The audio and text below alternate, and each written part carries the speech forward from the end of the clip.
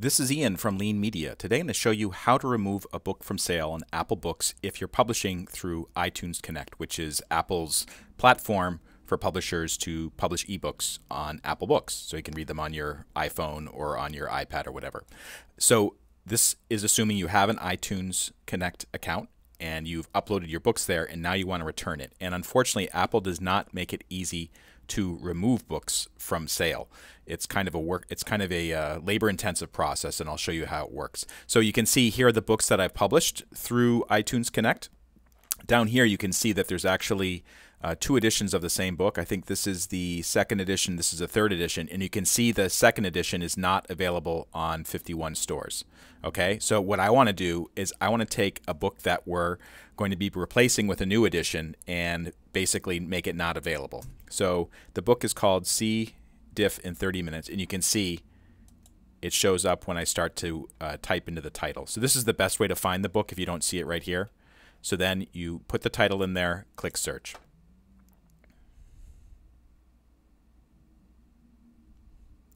And I have to say, Apple's software for managing this, it's really kind of old fashioned. I don't think it's designed very well. I think it was designed by people who are not really um, kind of into web software for ordinary users. So it's uh, more of like an engineering type of, of software rather than something that you know mere mere mortal humans can use. So here is the book, and let's get rid of it. You'll see there's no way to just click something to remove it from sale. And this is very different actually than other ebook publishing platforms such as Kobo and I believe Amazon, which makes it pretty easy to take something off sale. For Apple Books, you have to go to the rights and pricing. So press that button. And you'll be brought to this particular table of like 50 different countries and the pricing. Um, basically what I'm going to do is just remove it from sale everywhere. I'm not going to remove it from just one one site and keep it running on another. But base so what you need to do is click on edit countries, regions and pricing. And then you'll be brought to this particular screen. Okay.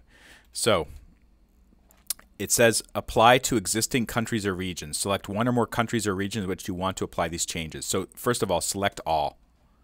And then go for cleared for sale change that to no. Because right now you can say cleared for sale, there's a check mark, which means yes, you can buy it. We want it to change to no. So this means it will be removed from sale after I put that through. Um, there's nothing else you really need to do. Just make sure everything's checked off and then click continue.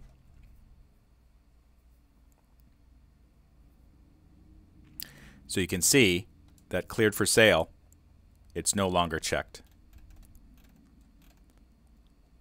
Then click Confirm at the bottom.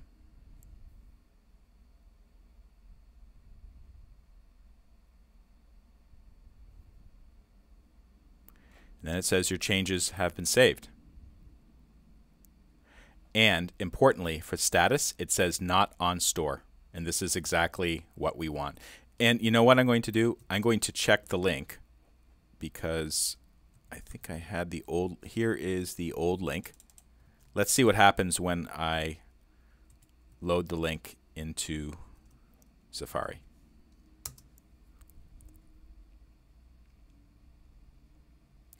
Okay, so it shows this is the book, and then it says View in Apple Books. So actually, it looks like I can Well, it looks like it's still there, but I don't think it's going to be there for much longer. But come back and check it just to be sure. And in the meantime, it's not on store. It shouldn't be available. And I think that's it. Click Done.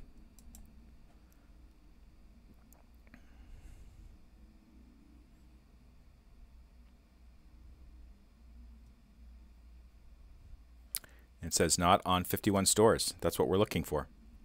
For more information on how to get the most out of publishing, selling on Amazon, selling on your own website, go to leanmedia.org, click on blog or video. I have all kinds of free resources that you can use to basically make a better publishing business, make a better selling business online. I've been doing this for many, many years, and I just try to help people out uh, with the questions that they have and just show them how to do things because, frankly, a lot of this software is kind of complicated.